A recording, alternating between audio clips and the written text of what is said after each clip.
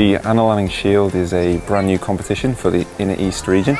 Um, it is Super 8 rules, so everyone gets a bat, everyone gets a ball, everyone fields, um, very, very quick, everyone gets involved. Uh, every Wednesday night at Hislop Park, and so far it's going really, really well.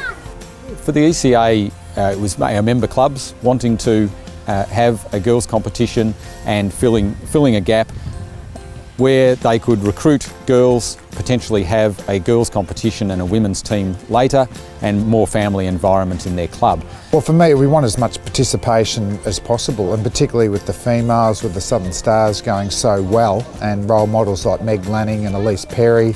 Um, we're hoping that a lot of girls here are aspiring to, to be like those girls. So um, even if they're the girls that just enjoy their cricket and, and, don't go to an elite level, well, at least they've had a positive experience from cricket. Well, it's, it's been a great experience. Um, I've always wanted to play cricket, so I've met some new friends along the way as well, so it's been good. Um, my favourite thing about playing here is probably getting to do everything and that when you're batting you don't get out, so you get a bit of more, more of an experience. In the future, looking only as far as next season, is to actually put some levels in place to get a more even competition.